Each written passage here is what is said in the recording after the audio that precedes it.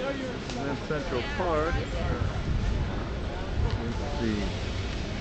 Ultimate Block Party.